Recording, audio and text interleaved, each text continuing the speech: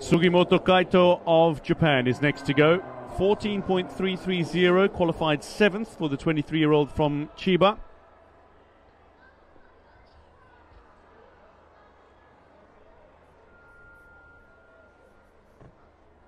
Part of an incredibly strong Japanese gymnastics team. The man who who's aiming to be part of the Japan team at the Olympic Games. Very capable on parallel bars.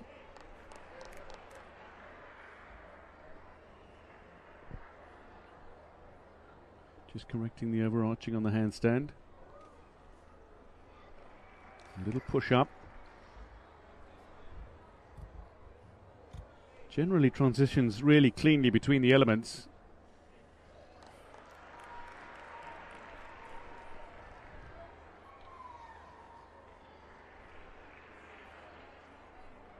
Beautiful fluidity.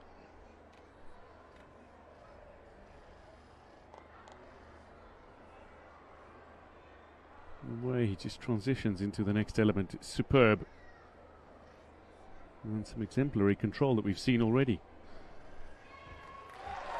That is a lovely performance from Sugimoto. He might have qualified seventh, but I dare say he will not finish anywhere near that position in this final.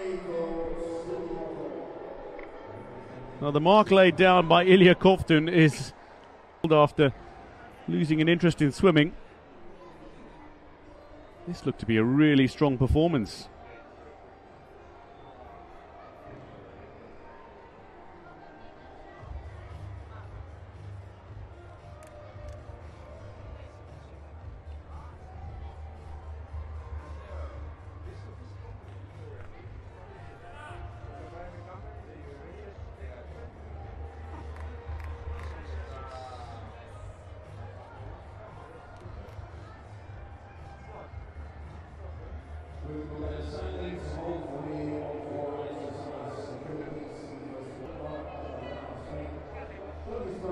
14.866. That is a really good score for his 6.6 difficulty routine. 8.266 execution.